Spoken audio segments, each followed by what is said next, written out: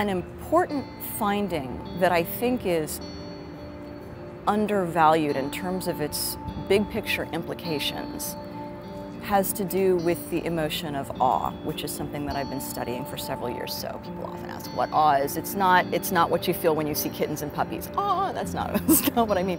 It's the feeling that you get when you see the Grand Canyon for the first time or when you um, are climbing a, a, mountain during a hike and you get to a point where you see this exquisite panoramic view for the first time.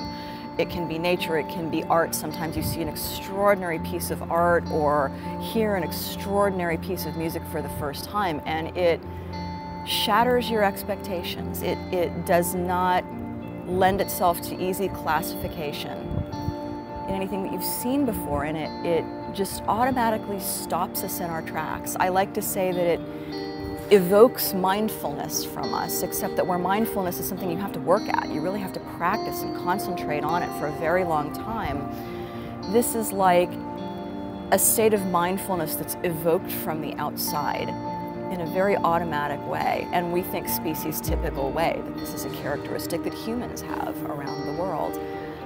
And it's certainly something that you can see in culture. All cultures create places, they honor places that are awe-evoking. They create uh, buildings and artistic products that evoke, that are sort of tailored to evoke this emotion from us. Um, so that's additional evidence that this is something that's very typical of the human species. So I often say that when researchers talk about emotion, and I am fundamentally an emotion researcher or an affective scientist, they often talk about emotions that help us avoid threat, particularly physical threat. So lots of emotion researchers talk about fear and the notion that fear helps us escape physical danger.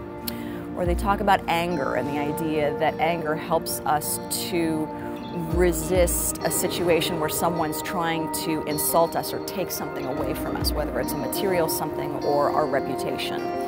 Um, talk about disgust as an emotion that we feel when we are at risk of contamination of some kind and we need to get this contaminating substance out of the body. And when you have that conversation, it's very easy to talk about emotions as fundamental and necessary for human survival.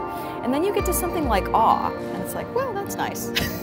you know, it's sure, I guess it's pleasant, but it's like the luxury of emotion. I've I've called it the Gucci handbag of emotions, right? It's great if you have it, but it's not like you really need it. And I think that that is a profound error in how we value the different benefits that emotion can provide.